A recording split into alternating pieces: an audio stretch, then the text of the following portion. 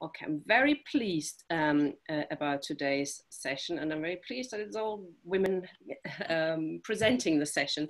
This is about the um, something I don't know much about at all. In fact, it was only uh, Anne who's uh, sort of introduced me to it, which is the Communist Women's Movement, which was set up in the in the early 20s um, as an international women's movement, um, came out of Comintern, and um, tried to uh, you know cohere the revolutionary women across across the world into a movement and um, formulate demands for this movement, etc.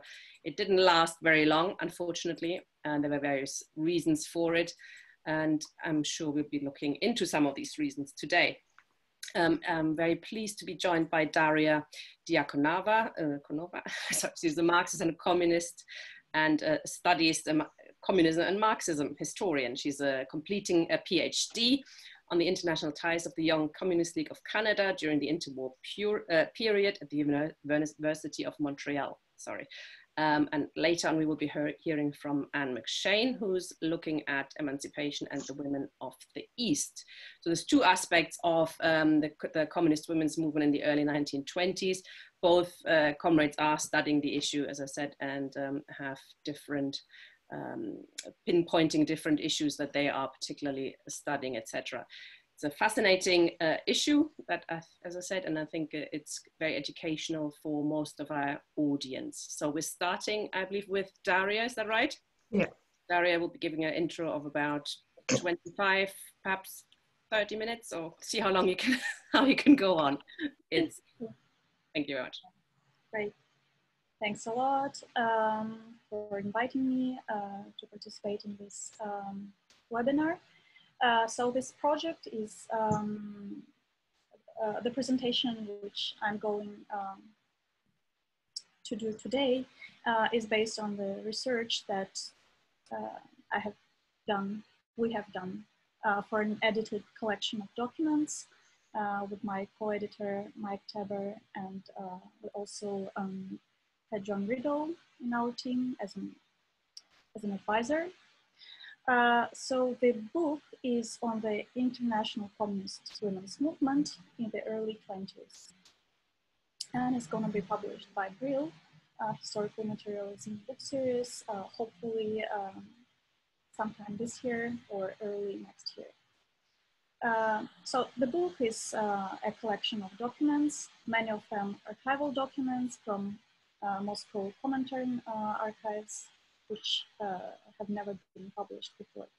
So the objective of the, um, this collection is to recover the experiences of these communist women that so far remain unknown. Um, so, so what is the uh, Communist Women's Movement? The name itself was not an official name, but this is how communist women referred to themselves.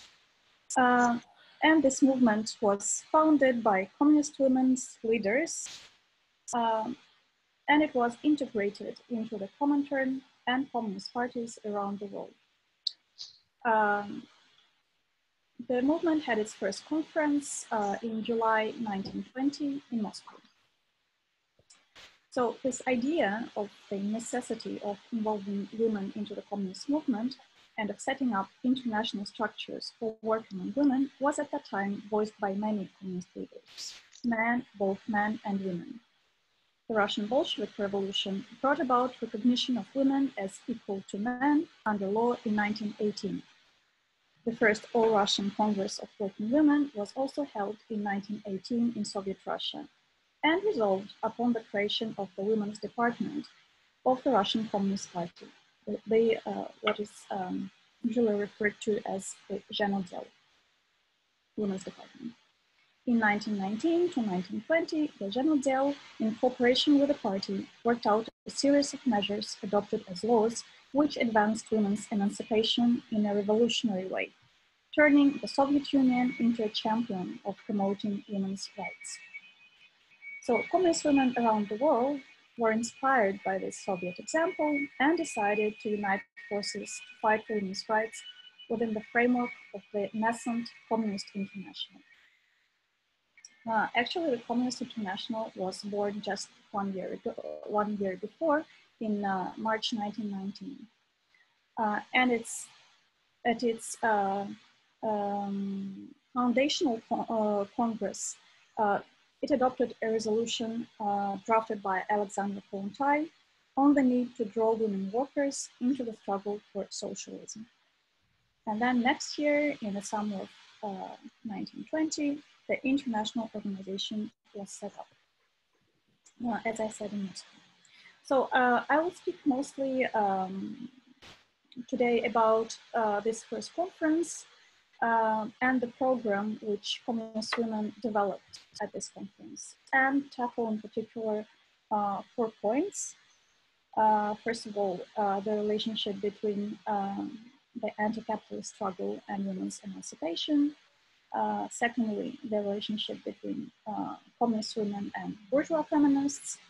Uh, I will also speak about the question of motherhood and reproductive rights uh, and about the, um, the, housework issue and the division um, of labor in uh, private sphere.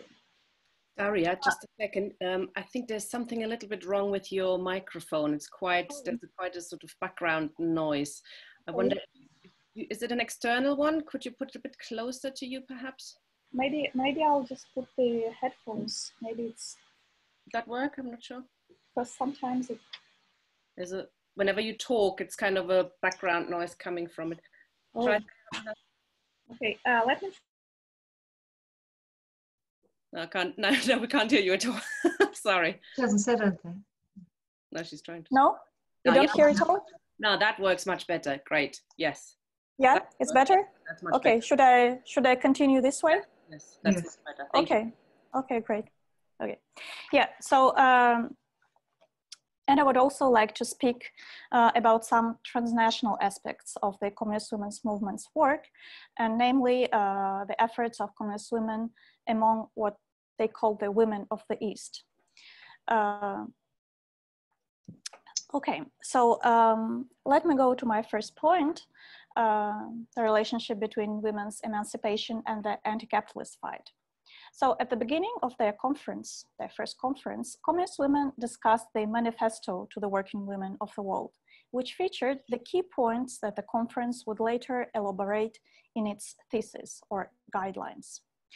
Uh, stating that working women were the most, quote, most oppressed sections of working humanity who suffered not less than men because of the imperialist war and the economic dislocation it had brought about, the manifesto singled out the existence of capitalism as the major factor of women's oppression. Communists thus linked the emancipation of women to the anti-capitalist fight. The manifesto insisted that women suffered from double sla slavery. As many communists, uh, Lenin, Lenin among others, pointed out, at work and in their homes. So this idea uh, of the interdependence between women's liberation and the elimination of capitalism was also, also present in the first conference's thesis. Uh, which were drafted by Clara Zetkin, amended by Ines Armand, and published eventually as the guidelines for the Communist Women's Movement. Um, so um, if we look at the um, relationship between uh, communist women and other women's rights movements, uh, and in particular feminists um, of the time, um, one would see that throughout the 20s, communist women, and before that, uh, communist women tried to distance themselves from what they defined as bourgeois feminism, that is, mainstream, liberal, first wave feminists. Communist women indeed underlined their socialist identity in quite firm terms. The Marxist idea was that the emancipation of women was possible only within a socialist system, achieved through a revolutionary struggle by the working men and women. Thus, an organization that advanced women's interests and challenged male supremacy was seen by many Marxists as undermining the unity of the working class. Uh, in Russia, for example, the Social Democratic Labor Party and later the Bolsheviks were hostile to bourgeois feminists. And so were most socialists, both men and women around the world, within the international socialist movement, including Kollontai and Zetkin. In a speech in 1913, Kollontai, for example, claimed that bourgeois feminists simply sought, quote, to achieve the same advantages, the same power, the same rights within capitalist society as those possessed now by their husbands, fathers, and brothers. The 1920s conference's theses were in line with this reasoning. They stated that, quote, demands of the bourgeois women's movement have shown themselves to be incapable of assuring full rights and humanity for all women, as these aim merely at reforming the capitalist order for the benefit of the wives and daughters of the propertied classes, unquote. So uh, basically, um, bourgeois feminists ignored the interests of proletarian women. One of the feminist demands that communist source complex, at least for a certain period of time, was that of women's suffrage. Revolutionary Marxists in the, social, in the Second International, although they unconditionally supported universal suffrage uh, from the International's founding in 1889, nevertheless opposed the reforms that would extend voting rights only to privileged women. Given the property requirements associated with the right to vote that denied vote to both men and women of lower social layers. They also did not view suffrage as a cure-all that would complete women's emancipation. Kollontai pointed out that for proletarian women, equal rights was merely a means to be used in the continuing struggle against the economic enslavement of the working class.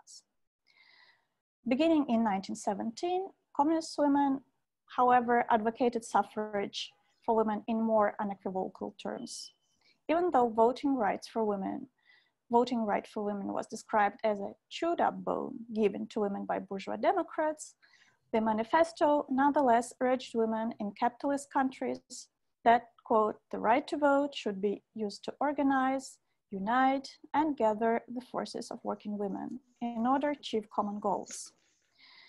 Uh, so the decision to support voting right for women um, appears to have been taken by 1920 by all of the women's sections of national communist parties. In practical terms, communist support for universal suffrage implied cooperation with non-proletarian women's movement, at least on this one issue. In fact, the idea of possible joint actions with feminists would be discussed many more times by communist women, and the attitude to it would continue to be somewhat contradictory. Now let me go to my third point, which is the, um, the way uh, communist women viewed uh, motherhood and reproductive rights questions.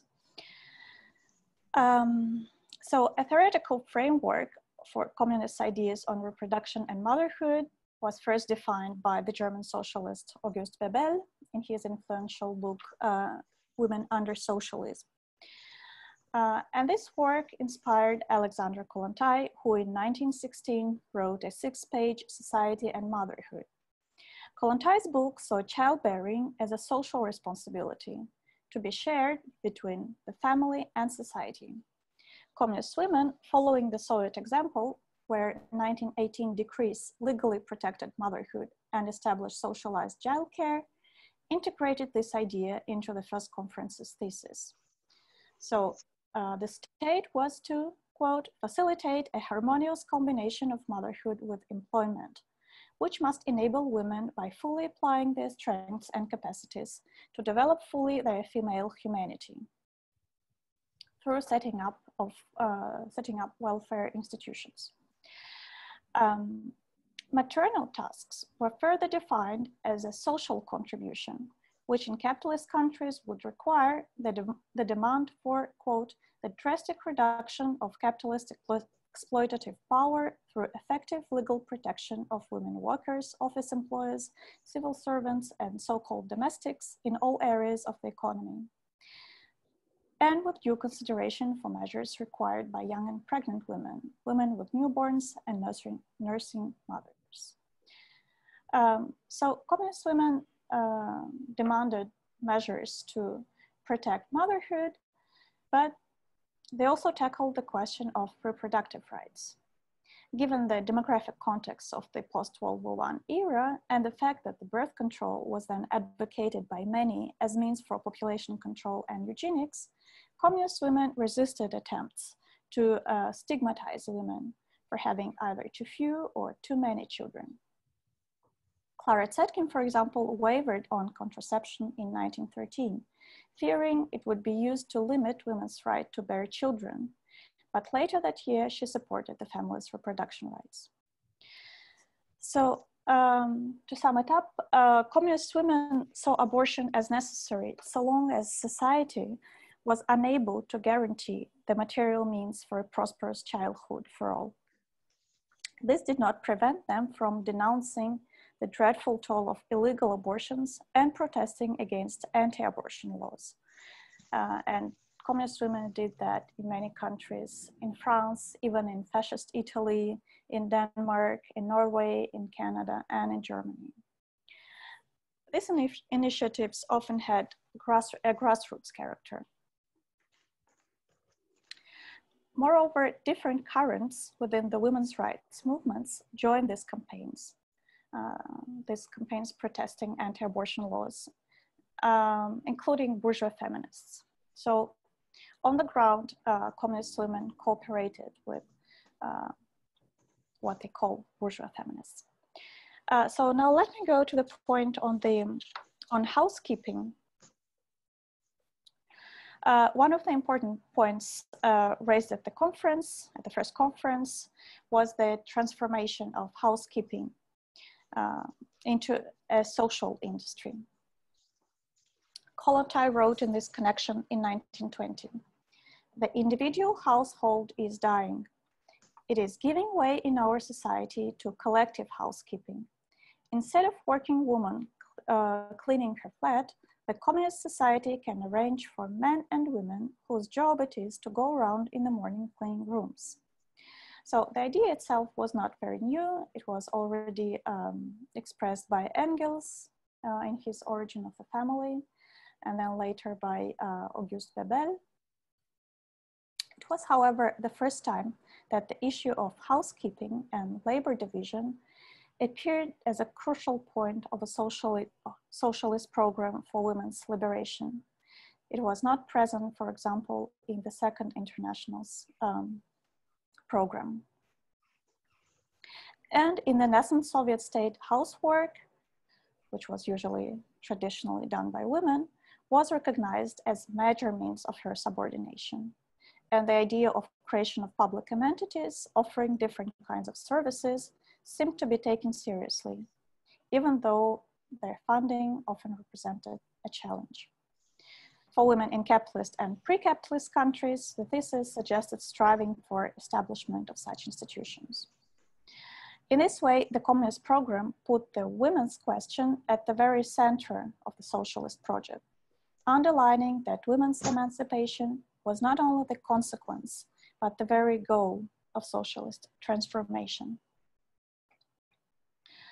Um, uh, so again, so this, this was uh, the theoretical framework, but all these questions were um, debated many more times in, um, uh, in conferences. Um, okay, now let, let me go to the um, to my last last point and speak a, li uh, a little bit about um, the work uh, among the women of the East. Uh, and I believe Anne would have a lot to say about that, about the work done by the Zhenotdel um, in the Soviet Union. I would speak more about the uh, transnational uh, aspect of it, the international work that was done. So uh, the second conference, which was held in the summer of 21, was probably the liveliest event in the history of the movement. And one of the questions uh, discussed at the second conference um, was the work among the women of the East. The conference actually had more delegates from Eastern countries who prepared more detailed area reports and urged the elaboration of a more comprehensive position on approaching Eastern women. Um, Kollontai spoke in this connection uh, of the need to, uh, quote, have no fear of transitory methods of work in order to win the sympathy of these women, and the need to rely on the experience and ideas of grassroots cadres from Eastern regions. Flexibility was in fact the strategy promoted by Soviet communists at the conference held in April 21 of women organizers from Eastern regions of the Soviet Russia. And this was also the strategy that um, the Zhenotdel used. Uh, they understood that they had to take into consideration specific challenges presented by work among women from Eastern regions, in particular uh, Muslim women. One of the delegates at the Second International Conference urged the calling of a conference of women of the East, similar to the Baku Congress, organized by the Comintern a year later in 1919, at which peoples of, uh, no, 20, sorry, at which peoples of the East were, in the delegates' words, represented by men. So um, this idea was uh, realized in December 21, when communist women called the Tiflis, Tiflis is today's Tbilisi in Georgia, the Tiflis Conference of Eastern Women. So discussions at this conference were similar to the ones in the Zhenotdel, concerning the way to approach women in Soviet republics of Central Asia. In the early 20s, the Zhenotdel put accent on the voluntary participation of Central Asian women in social and economic women-only activities, on grassroots initiatives, and the necessity of moving slowly, taking into consideration local specificities. Again, uh, Anne would have uh, much more to say about this. Uh, so uh, what I want to say is that the international communist women shared this approach, uh, and it found its way into a resolution at the second international conference. Um, so it was a special re resolution on work among women of the East, uh, which said, uh, the sections or commissions must strictly avoid tactless, inappropriate, or rude attacks on religious beliefs or national traditions, while still resisting the influence of nationalism and religion. Initiatives of the Zhenotdel included educational work and the organization of women's social and economic institutions for and by indigenous women. Similar methods of work would be used by the Communist Women International. Like the Zhenotdel, which had a department for work with women of the East, the Communist, the International uh, Communist Women's Movement established in 1921 the Women's Secretariat for the Near East, which was to coordinate work in Western Asia and Turkey. And it is, it's this secretariat that organized this conference in uh, Tiflis uh, in December uh, 21, with delegates from Azerbaijan, Armenia, Georgia, Kabardia, the Mountain Republic, Dagestan, as well as Turkey and Iran. And again, uh, as I said, the policy on women of the East was that of flexibility and sensitivity towards the conditions of life and cultural contexts that women of the East had to face.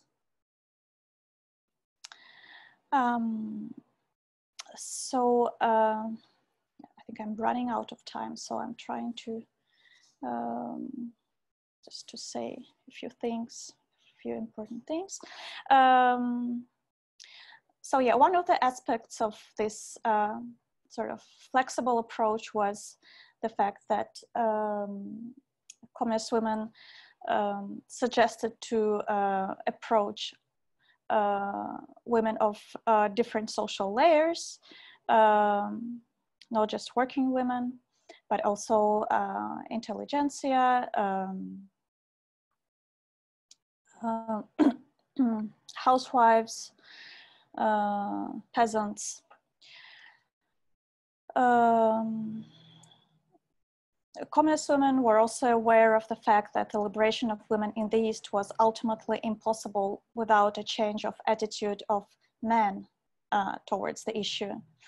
Uh, the thesis worked out by the First International Conference unambiguously pointed to the complexity in countries at a pre-capitalist uh, level of um, development uh, to fight to over, uh, quote, to fight to overcome, overcome the prejudices, morals, customs, and religious and legal regulations that reduce women to slaves of men at home, at work, and sexually.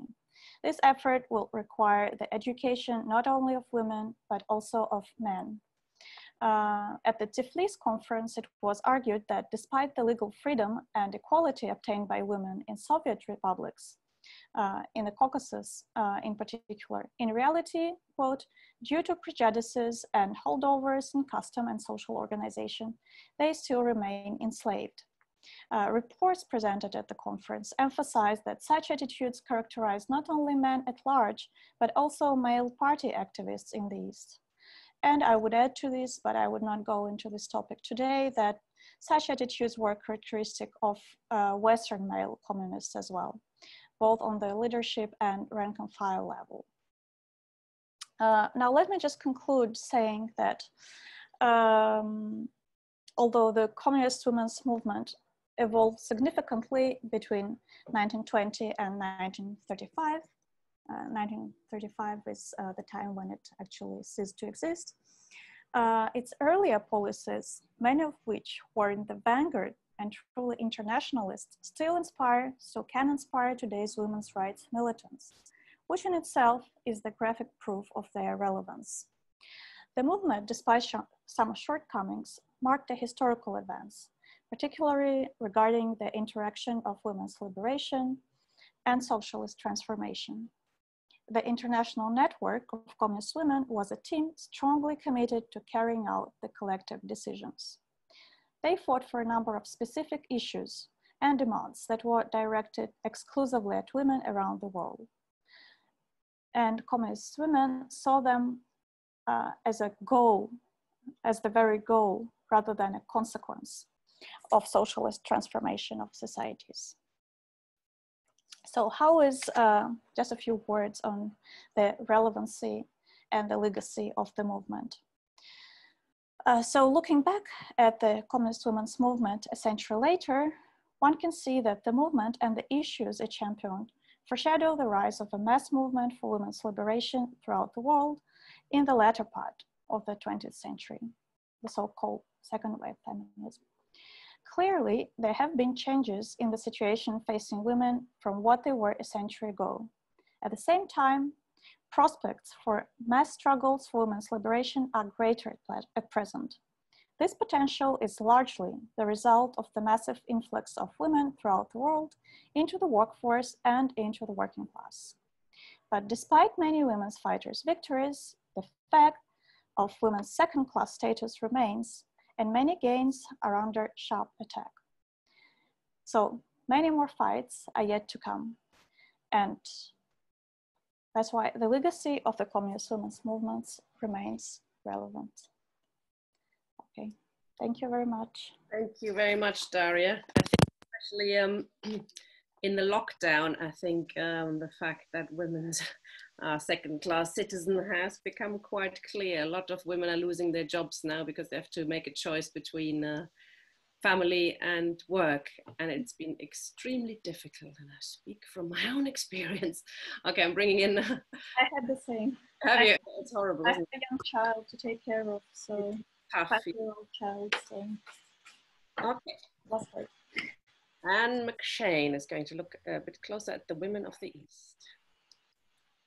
Hello. Okay okay okay, thanks okay thanks tina and comrades in the Labour Left Alliance. And thank you, Daria. It's my first time meeting Daria today, and um, I very much welcome the work that herself and John Riddell and Mike Taber have been doing in basically bringing to light this uh, important organisation. Um, I, I believe myself that it is really important for us uh, as communists and as socialists and as progressives to be aware of this history and it's a great shame that really like so much of us hasn't been available to us until very recently um, we know a lot about the main figures of the Russian Revolution, you know, particularly obviously the men. We, we know very little about the women's movement. Um, and for myself, the reason that I actually went away and studied this question was because I had so many unanswered questions Um, I've been involved in the communist movement in Britain for 20 years and obviously had been, uh, well, I, not obviously, but I had been very active. Um, and I'd always asked, you know, what was the reality of the women's movement in the Soviet Union? And really, I hadn't been satisfied with the answers. Um, mostly, what was said was that uh, formal um, gains had been made in legislative terms following the revolution, but very little had actually happened in practical terms. And I was glad to find when I eventually did go away and research it, learn Russian, and went away and, and read the journal that I based my study on, was that actually very much had been done. Um, and uh, very much of it is, it's very important to us today. So to me, when I started to read Kommunistka, which is the journal of the Zhenotdel, which was the women's department or women's bureau of the uh, Communist uh, Party of the Soviet Union, it was really like finding buried treasure. Um, and I was enormously glad uh, to see um, the kind of ideas and the um, sort of work that they pioneered. So Okay, so the Zhenotdel um, was set up in 1919 following a, a conference of uh, working class women and peasant women that took place in Moscow uh, the November before then. Um, basically, uh, the core idea behind the Zhenotdel was to develop uh, the emancipation of women within the socialist project. Uh, there'd obviously been work done by many of the Bolshevik women uh, during 1917 and before then, but there was a lot of dissatisfaction that uh, more wasn't being done by the Soviet state and that women were continued to be, um, although they were working, um, were, were, were living very oppressed lives. Um, so basically, as Daria has said, uh, the object was to put the woman's question at the core of the struggle for socialism. And basically, something that was repeated a lot by Zhenotdel members was that you cannot have socialism without women's emancipation, that it wasn't something that could be put off for further down the line, it was something that had to be addressed in the here and now. So my work um, has been on the Soviet East and the work of the Zhenotdel, particularly in Uzbekistan. So I just want to, I suppose I've kind of what I've done is I've looked at it for tonight in various stages of, of development and partly that allows us to see, I suppose, the progress of the 1920s and the kind of political changes that took place in that period of time. So the work in the East began from 1920 onwards, uh, following the uh, end of the Civil War. And Kollontai, who had taken over from Inessa Armand as the director of the Zhenotdel, following Armand's uh, untimely death in October 1920, Kollontai spearheaded the work to the East. And basically, uh, in a, in a, in, I suppose their approach was set out in an article that she wrote in 1920 called The Last Slave.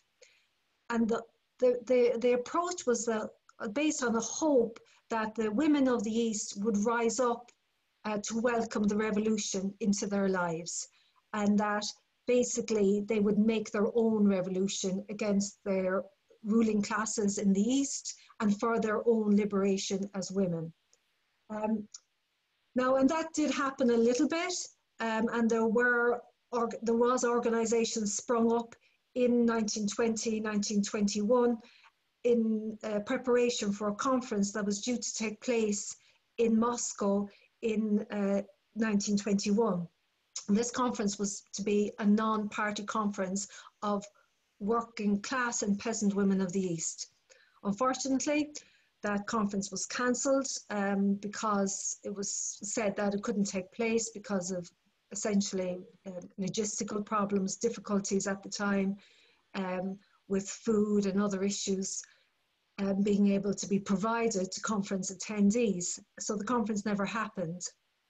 And uh, in fact, actually, um, I think when Daria was talking about the conference, the women, the Commonwealth Women's Conference uh, their, their, their conference in 1921, a number of the women who turned up and went on stage and unveiled, uh, because there were women, veiled women at that conference, had actually been going to Moscow for their own conference, Women of the East, and actually ended up at this international event, which has still gone ahead. So anyway, um, the, the, this, this international, sorry, the women's, the Conference of Women of the East didn't happen, but an, an activist conference did take place that April, and it was addressed by Kollontai. And similar to the way in which Daria has described the attitude of the Communist Women's uh, movement towards uh, Muslim women and women of the East, the approach of Kollontai and those who voted through the thesis that she presented was mirrored that flexible attitude. Um, so the, the main uh, organizational form of the Zhenotdel in Russia and in the kind of more western parts of the um, Soviet Union was called uh, delegate meetings. And these were meetings that were set up in districts and in factories where women would vote through their policies and then they would be kind of seconded into various departments or factories in order to learn skills and come back and educate others. It was a very kind of a flexible form of organization itself. Well, anyway, it was, it was decided that this wasn't going to do in the East because women, especially in Uzbekistan and um, Azerbaijan, um, they had, those women were uh, secluded, um, they weren't allowed to mix with men outside their own family, and they were veiled. So the agreement was that they would set up a, a form known as clubs. And these clubs were sort of like hubs where basically um, they would have, uh, there would be cooperatives within the clubs where women would be, you know, doing handicraft work. Um, there would be um, uh, educational classes, there would be uh, medical consultations, there would be a theatre group, choir, and, and within that, then there would be um, the provision of childcare for the women that attended. The, um, the club that was the kind of the one that they were all to kind of put forward to copy was one based in Baku uh, called the Ali Bayramova Club. Um, so after 21, there really wasn't very much happened. Kollontai was removed from her, her, position as the director of the Zhenotdel um, in the uh, aftermath of the workers' opposition fight because she had been one of the leading people um, in that. And um, so there was a year or two where very little happened. And then in 1923, there was a relaunch of work in the East, and the woman who was in charge of that work in Central Asia was a woman called Serafima Lubimova, who had been a supporter and a follower of Kollontai's. Um, so uh, the, the work, the agreement on the kind of work that they were going to carry out um, was confirmed. This is the right way to approach everything. And basically, they um, started to set up these clubs. Now, they had a lot of difficulty, um, particularly um, at the very beginning, um, because it was hard to attract women to these clubs because they seemed so kind of at odds with the life before then. Um, and also, there wasn't much support coming either from the leadership of the Communist Party in Moscow, which gave formal support but no practical support, and also from communist men on the ground, a point that Daria has already made. Um, there were practical difficulties for uh, the women involved in them in terms of um, the cooperatives because they couldn't go to the markets to sell the goods that they produced because of the difficulties of being secluded. So the aim of the clubs in terms of trying to um, provide women with some economic independence was very difficult. They were very difficult aims to realise.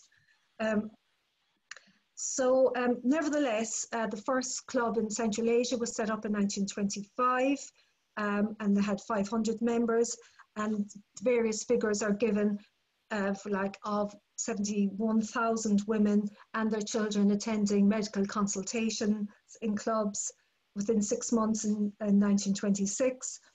and that by 1926 also there were 34 clubs. So a small number of, of organizations, some had their own premises, 34 of them apparently had their own premises, and then they would have red corners in general clubs. So um, then a, a, a, positive turning point came for the Zhenotdel after 1924. So 1924 uh, saw, as people will know, the national delimitation program in Central Asia and the creation of republics, the stands as we know them today, Uzbekistan, Kyrgyzstan, Turkmenistan, Kazakh Kazakhstan. And, and in Uzbekistan, which is where I studied, um, the, uh, the Muslim intelligentsia, the Jadid movement, which was a modern uh, uh, Muslim movement was involved in the government, in the government of the Republic. And this was as part of the Korenizatsiya program, which was to involve you know, national groupings in the government. This involvement was reflected uh, among Muslim women who were part of the Jadid movement, and they became involved in the Zhenotdel for really for the first time uh, an organ, uh, the, the launched an Uzbek uh, women's journal called Yangi Yol, which is a New Life. And um, basically, uh, women, I would say indigenous women, came flooding into the Zhenotdel in this period. Um, what, what, what happened, the initiative, which I think was the most successful initiative, um, at that time was the creation of women only shops and these were set up in all of the various cities in, in, in Uzbekistan and some of the uh, bigger towns. Um, so basically uh, these shops, I just want to say a few words about them to tell you what they were, how they functioned and why they were good, why they were very useful. Um, firstly, they were part of the general cooperative movement. Um, they were consumer cooperatives, which meant that women could go there um, and buy whatever they needed. They could go into the shop and unveil. They could pick out what they wanted themselves, which was something they weren't able to do in the markets um, where, where, they would be among men. Um, they were able to bring their own produce there and sell it. Um, and then the Uzbek, uh, the, the assistants were either Uzbek or they could speak Uzbek. Um, they, they were able to um, also take part in various discussions and debates. There would be readings of the journal, there would be mother and baby corners. Um, there would be various different activities going on within the shop. So they became more than just a shop, they became like a social centre for women who went there to do their shopping or to sell their goods or even, you know, for meetings. The good thing about the shops was also that they were not out of sync with the kind of, I suppose, the, the, the culture of the local population and that men didn't mind, local men, indigenous men didn't mind women going to these shops because they were relieved of the burden of shopping themselves and they just didn't seem anything at odds with them. It didn't, wasn't a problem um, in the same way that going to the clubs was. And then bigger cooperative organizations began to go up around them. So what I think is important about them, and I've just given you a brief description, is just that to show that they were a way of, of veiled women uh, entering into kind of social life in a safe way and being able to attain some sort of um, economic independence and become political. Um, and all in a way that didn't jar with the uh, over overarching culture uh, of Central Asia. So, um, okay, moving along, I know I'm taking more time than I should. Um, okay, so basically, um, up to 1926, the Central Committee uh, was not really involved in any way in what was going on in Central Asia um, mostly the, you know, the Zhenotdel there was ignored. But in 1926, a change came about. At that time, as people will know, Stalin managed to uh, wrest control of the Central Committee and moves began to be put in place for a very different form of uh, I suppose, politics, social control than had existed before then. And in 1926, the Central Committee sent a, a, a direction to the Central Asian Bureau that they were to put in place uh, policies in order to deal with the Islamic clergy in the East. And basically, what was decided upon was that they would launch what was called a hujum, um, which means attack in Uzbek or nastuplenia, the Russian word for the same thing. So basically, this was an attack on what they called the roots of reaction within Central Asian society.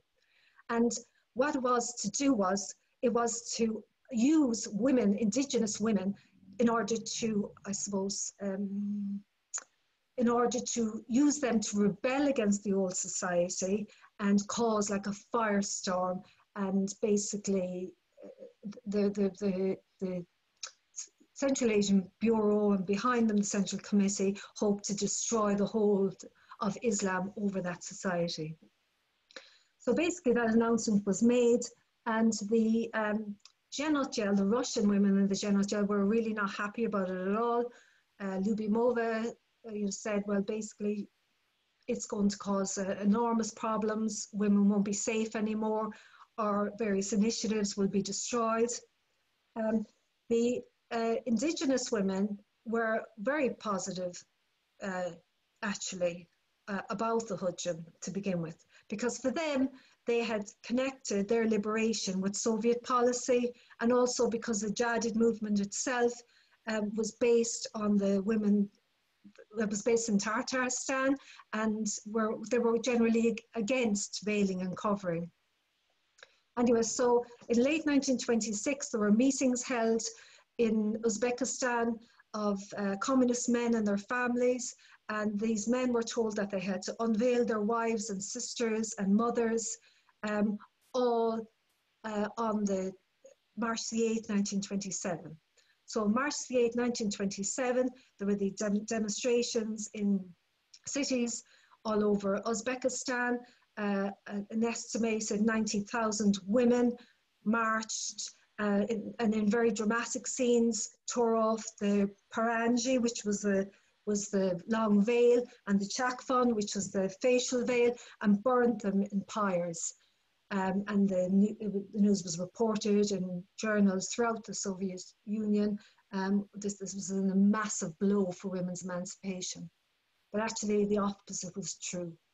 The women that unveiled that day were very soon back under the veil because what the Hujum did was that it provoked a firestorm of reaction against women.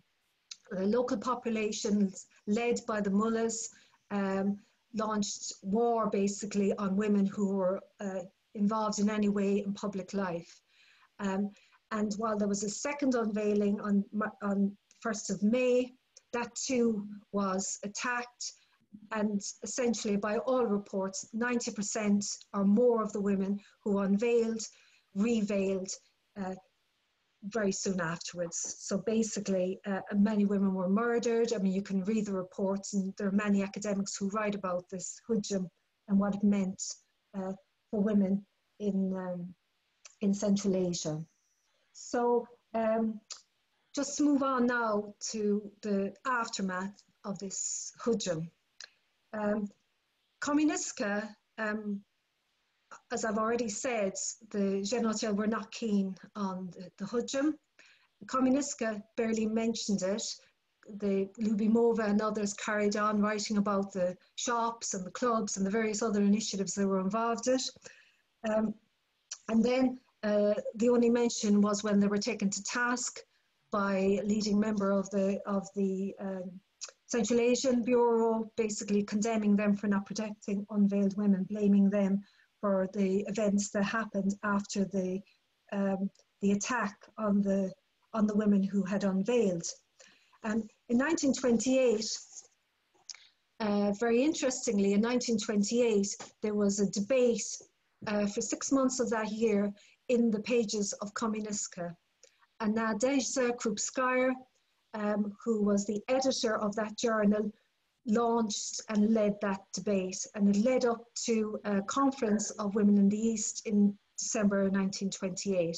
So this is obviously a time where, you know, the um, the first five-year plan has been announced in late 1927. The situation has become very dangerous to speak out, and I personally think it was a very brave stand that Nadia Nadezhda Krupskaya made that year.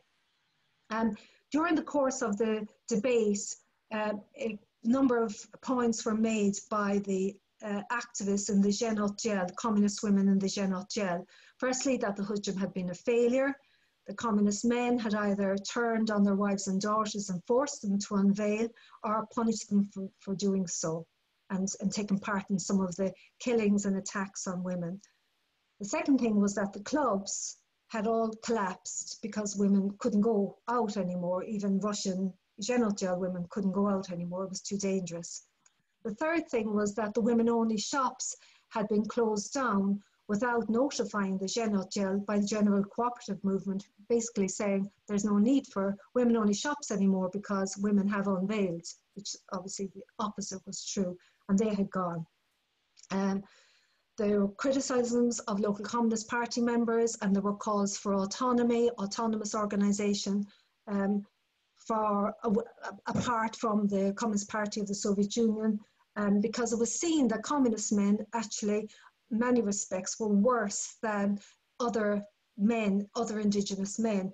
Um, so, you know, they were more tied to, to tradition and more obstinate and less concerned. At the conference itself, and Nadezhda Krupskaya spoke out about the, against basically, against the, um, the anti-religious commission, which had been formed at that time, uh, spoke out about the attempts to impose a dead level on society and argued against banning of religious ceremonies, etc. So she basically spoke out from the perspective of opposition to what Stalin was doing at the time. Um, however, um, that was her last time speaking in such a manner. Um, the conference had been attended also, as becomes apparent when you read Kommunistka in 1929, it had been attended by leading uh, communist uh, Central Committee members who supported Stalin, including Yaroslavsky, who led the Anti-Religious Commission, the League of the Militant Godless. Um, the Gel were told in the aftermath of the conference that they had to continue to support unveiling as part of bringing uh, Indigenous women into the um, uh, five-year plan. So basically, from that time onwards until the Gel was closed down in March 1930, it really became, it was like there's no debate on the paper, in the journal. It's basically all about loyally supporting the five-year plan. It's all about uh, unveiling women so that they can go and work in factories and in collective farms. Um, there's no agency, you know, either from the point of view of the Zhenotdel or from the women themselves. In fact, it was just a recruiting sergeant for the five-year plan. And then in 1930, um, it was announced that the, basically there was no more need for the Zhenotdel. The women's question had been solved. In future, the party would deal with it, which obviously meant it wasn't going to be dealt with. Um, and um, the, uh, the organisation was no more. So just to conclude, so from my point of view, I believe that the Zhenotdel is very important for us to learn about precisely because it tried to marry the, the um, struggle for socialism and under workers and, and under workers' control with the, with the struggle for women's emancipation. And it took many uh, very interesting initiatives, um, which I can't go into here, but you know, in Russia as opposed to Central Asia. But it was all about women's self-emancipation. The role of the Central Committee under Stalin was obviously the direct opposite. They manipulated the very real aspirations of Indigenous women for liberation in order to use that to, to attack their society. I mean, the question of women's rights was not of their concern at all. Um, Central Asia, where was obviously, as people will know, uh, one of the parts of the Soviet Union that was hit really hard during the uh, first five-year plan. Um, society was, you know, really uh, under attack, um, and there was famine, there was great suffering, and I believe the Hujum was a softening up of Central Asia for the five-year plan. So I suppose the contrast, you can see the clear contrast between the approach of the Zhenotdel and the approach of Stalin and the Central Committee in 1927 and 1928. You can see from this experience that something very real had changed um, in Russia and the Soviet Union, and that for me, a period of reaction had begun. Anyway, thank you very much, and sorry for talking for so long. Thanks. No worries at all. Thank you very much, Anne. Um, we have uh, a couple of questions from the floor. I'm just going to make comrades into panelists. Um, but I want to abuse my position as chair to also ask a few questions and make a few comments. I think it's very fascinating, both both comrades, and it is not something um, I or I believe most most comrades know a lot about. So it's very important to educate ourselves um, as, about our history and this part of our history. Um, and then a, few questions really. I think, um, well, first of all, I think it's um, the struggle of women in, in that period and in, in, in, the, in, in Russia and in that area really, I think, underlines the not just double, I guess it's a triple oppression, I guess, of women in, in those societies uh, must have been absolutely massive from, especially from what, what Anne has been describing. Um, tiny working class in that area, you know, hugely uh, dominated by peasantry, etc. And it, I think it really underlines the um, impossibility of trying to get to even something close to socialism in such a backward country. And the the uh, the idea that you know when Lenin when Lenin was saying we can't really make revolution in, in Russia without without the Germans helping out, and we've looked at the, the failure of the German Revolution in a in a previous webinar. But I think this this this uh, your descriptions really under underline the possibility or uh, the, the, the need for revolution to be international, especially if, if it starts in such a backward country like Russia. It it almost couldn't succeed uh, in in terms of you know really achieving any kind of uh, equality or emancipation of women, or let alone you know men, of course, as well. Men weren't emancipated in, in Russia in that sense either. But uh, that that really hammered that one that one home. How how difficult a position the, the, the Russians were in, the Bolsheviks were in once there was a revolutionary movement. But you know they were very aware of the limitations and the problems um, uh, they faced as such a backward country. Um, I wonder, um, um, Daria was talking about some of the um, demands of the women's movement, and I wonder if you could talk about them a little bit more when you when you come back, because we do, you know, it, it is quite important, I think, to to think beyond about what what we today think as you know sort of women's women's uh, demands for for for for emancipation, etc. You know, equal wages, etc. These are all quite, you know, we, we're trying to catch up, and we're in bourgeois democracy really and, and as i mentioned earlier in the lockdown it's it's going back again so we'll be have to be catching up a lot more but i think under you know in a sort of uh, the, the, marxists and communists when they were when they were um, developing ideas you know and the ideas of sort of collective housekeeping. I mean that's quite that's really interesting to me what kind of different uh, you know new ideas comrades had at the time and were exploring at the time uh, in the international women's movement. Um, you do mention, you know, Clara Zetkin was a bit wavering on reproductive reproductive rights for, for a while, and that she then came around to, to fighting for the right to abortion, uh, as long as women weren't guaranteed the right to live prosperously. So I guess a sort of the choice that wasn't really an issue at the at the time was it sort of my body my choice you know that that even if i'm rich i can still decide not to want to have children. Was that something that wasn't really even considered at the time? That would would interest me that kind of thing. Um, then also the the question of um, it's my last point really. The question of winning over man is of course the key question. Uh, unless men fight for women's liberation you know it's it's going to be very difficult also for for for men. Unless men fight for the you know the emancipation of women men will never be free. It's that that old marxist saying.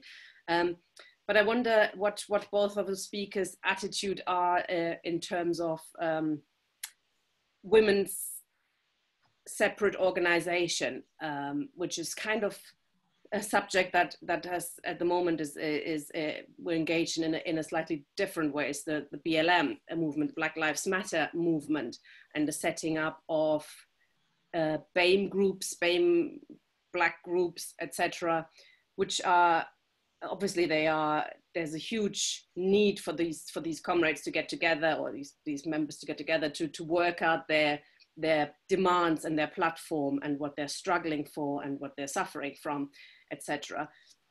But I see a certain a problem developing, perhaps, for example, in the Black Lives Matter, in, in many groups, white people aren't allowed to speak on platforms. They're not allowed to get involved. They're not allowed to learn, I think, from much of these struggles.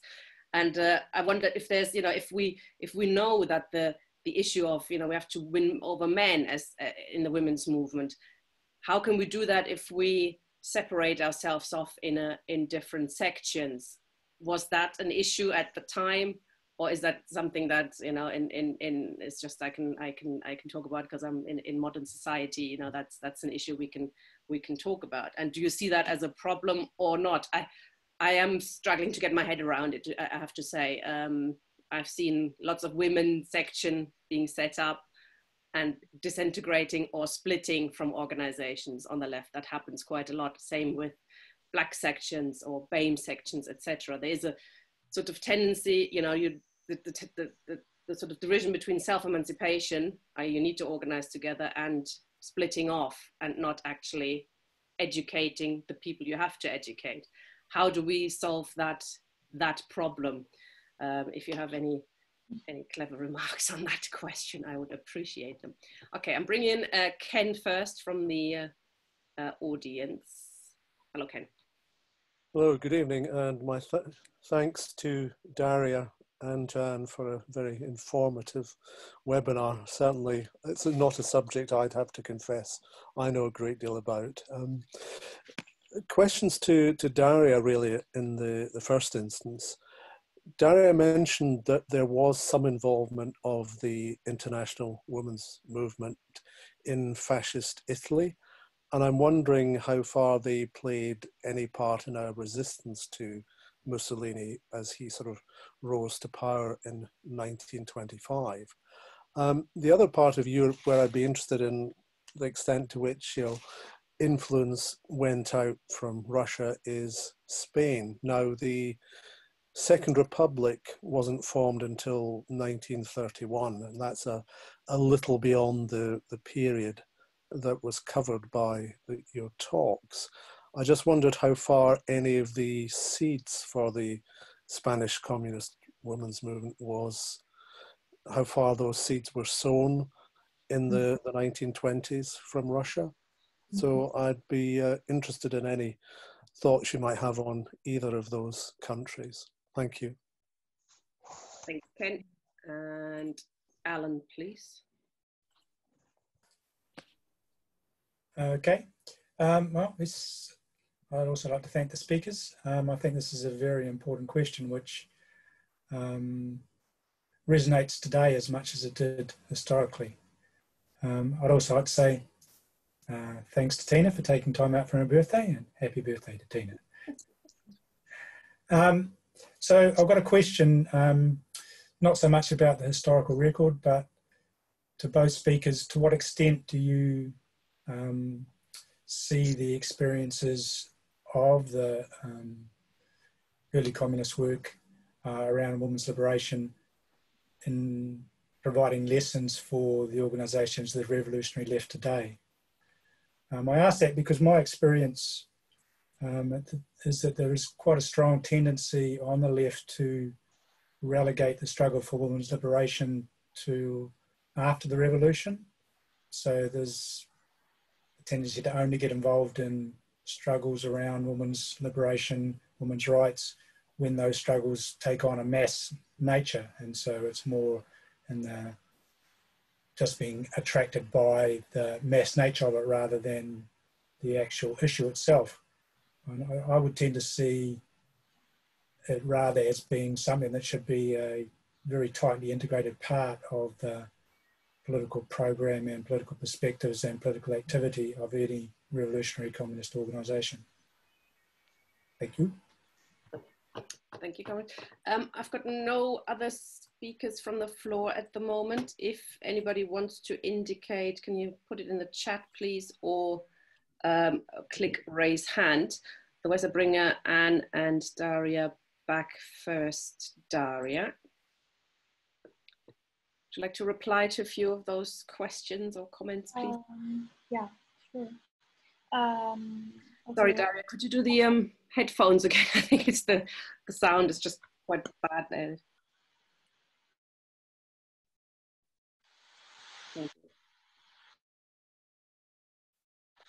So yeah. Uh, do, do you hear me now? Yeah. No. Yeah? Yes. That's good? Yep. Okay. Good. Okay, so let me uh, answer Tina's questions first. Um, so uh, yeah, so if we speak about the demands of uh, communist women, uh, so yeah, well, of course, the ultimate goal was the revolution and the complete emancipation of women, um, which would mean the total equality in law and in practice, uh, equal uh, salaries, um, um, access to education, access to medical care, um, doing away with double standards for men and women, um, suffrage for women. Um, so basically, um, the demands that were uh, still quite revolutionary for the time, because say uh, even uh, suffrage for women was not um, was not yet uh, adopted in uh, many capitalist countries. And then there were, of course, uh, many uh, immediate demands that concerned and targeted specifically, that directed, that were directed exclusively at women. Um, and I spoke about some of them, uh, such as uh, protection of motherhood, like communists around the world asked for um, eight weeks uh, maternal leaves and uh, uh, social aid to unemployed mothers and actually quite quite a list of um, demands related to motherhood that were also very uh, progressive for the time. Um, um, so then there was this question of uh, uh, separation of household duties, which was uh, also something something quite new. Um, yeah, and of course, yeah, when we speak about the uh, protection of motherhood, then uh, the whole uh, and household duties, the whole question of creating public entities that would um, help women to um, um, yeah, the whole question of, of creating of uh, public amenities uh, comes up, like um, childcares, laundries, and public um, kitchens, and uh, lots of institutions of this kind, which were very, uh, which were set up in the Soviet Union in the early 20s and um, were a big help although of course uh, um, their funding was often a problem. Um, so as to the question of uh, reproductive rights and motherhood as a choice, uh, I don't think Zetkin really spoke about that. Um, I believe in uh, in the Zhenotdel there were uh, a lot of discussions about that. Probably Anne would know more about uh, about these discussions. Um, yeah, I think it, it, seems to me that uh, in general, uh, Soviet women were sort of uh, uh, in the vanguard of the movement uh, as far as uh, family relations and sexual norms and um, including reproductive choice as far as these issues were concerned.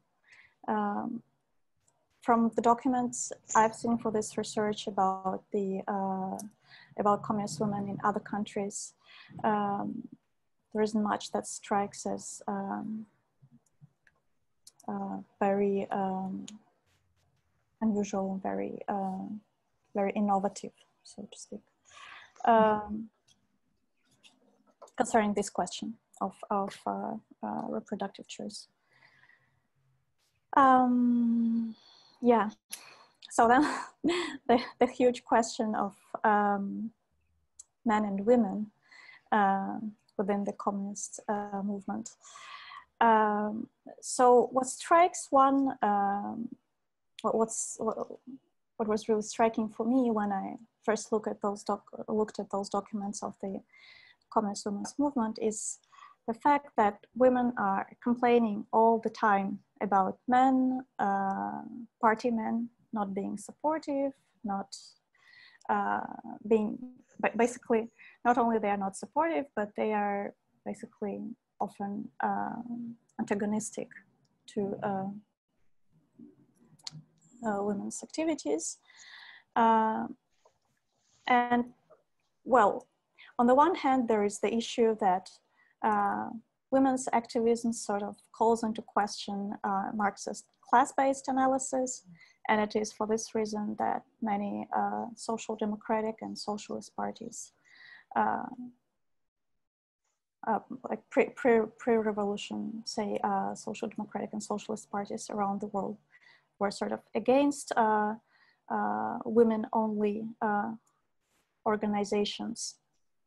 And so was the, uh, so were the Bolsheviks actually, up until 1918 when outstanding leaders like Armand Kollontai sort of convinced, convinced them that such organizations were necessary. Um, so yeah, but then, yeah, once you have this women's organization, yeah, obviously this issue comes up that Tina spoke about that, yeah, actually if men are not there, how do you win them over and how do you explain um, uh, women's emancipation to them? And, and make them contribute to it, right? Uh, basically what was happening in the communist women's movement uh, was that, um, so basically it was organized a bit the same way as the Zhenotdel in the uh, in Soviet Russia. Uh, there were women's departments in communist parties and actually men could also belong to these departments and they were encouraged to, to join them. but in reality, it never really happened. so mm-hmm. this was probably the way to uh, integrate uh, men into this struggle, but uh, it didn't mm-hmm. really work uh, on the ground. Uh, yeah, another problem related to um, to relationship be between men and women is just the simple uh, private sphere uh, male chauvinism, which was also there. You know, um, one doesn't become a women's rights fighter overnight, right? Like if, one looks, for example, even at Russia, uh, where uh, uh bef before 1918 uh, decrees, uh, men had the right to beat their wives and like it's not it's not a decree that would change you know things uh, overnight. And even if one looks at uh, some writings of lenin and trotsky big and enlightened uh, leaders uh, some chauvinist remarks come up all the time. So yeah. So the, the, the, and, and that's and that's why communist women spoke all the time about the fact that work should be done on women and with women and by women, but also on men. Uh, and um, what's quite impressive about the, this, the, uh, the communist women's movement is that they were aware of difficulties, they spoke about them, but they continued to struggle, they never gave up, and they actually won many times. And they managed to bring forward their agenda and um, to convince uh, party men to participate more. Mm. Uh, and, uh, and, and also this, uh, this uh, sort of united them.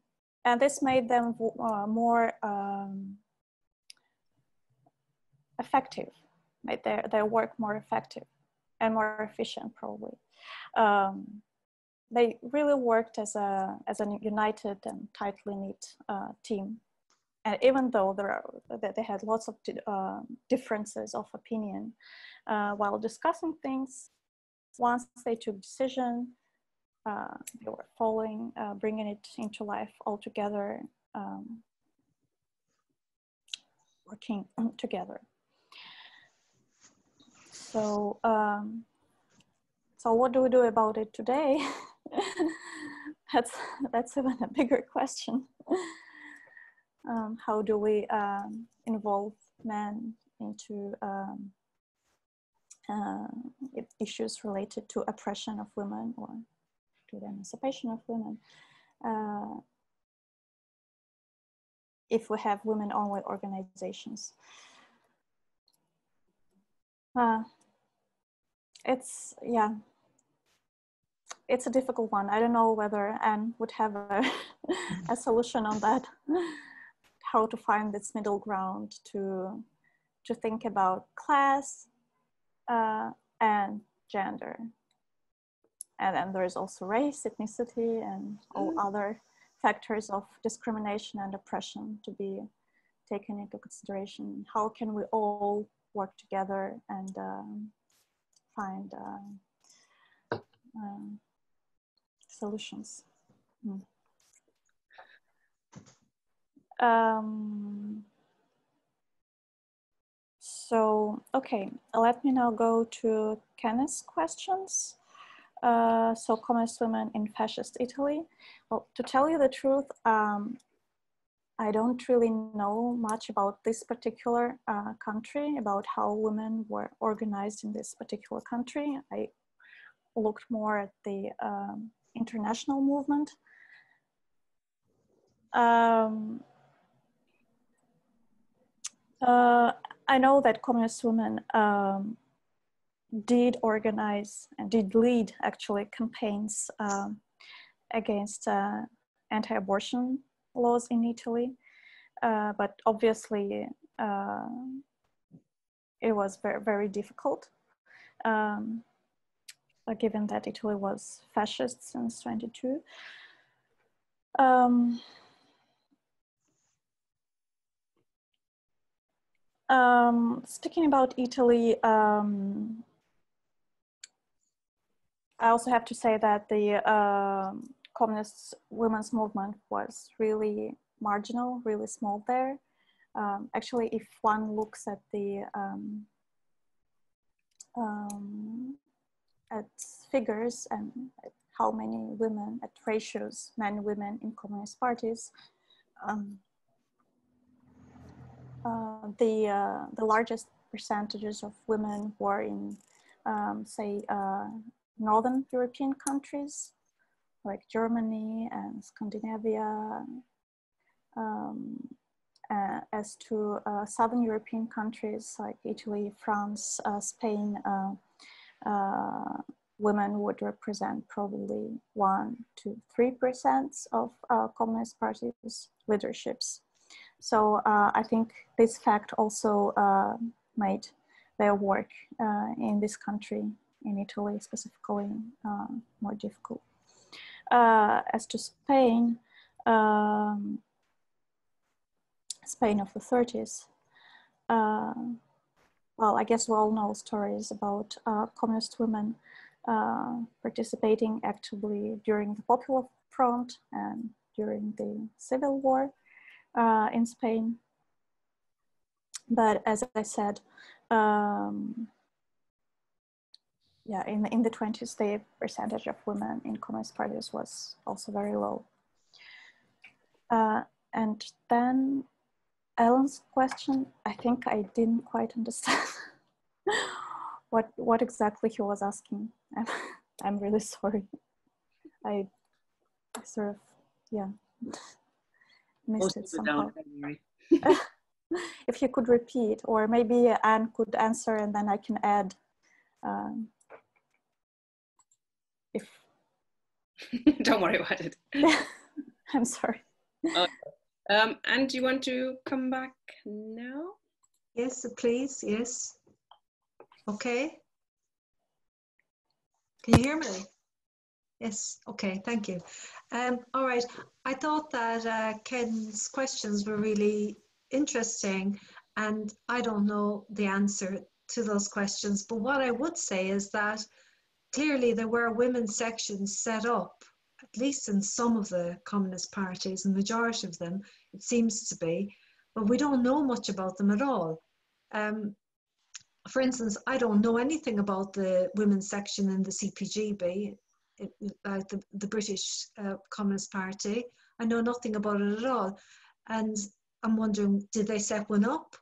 Um, I know that they did translate some documents. One, one um, edition of Kommunistka had articles translated in the main languages, and a comrade of mine has told me he's found them in the Marx Memorial Library in, in London, but I don't know what else? I know nothing about it.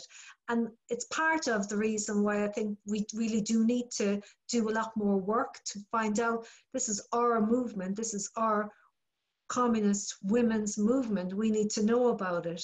Um, and it's just there for us to go and look at.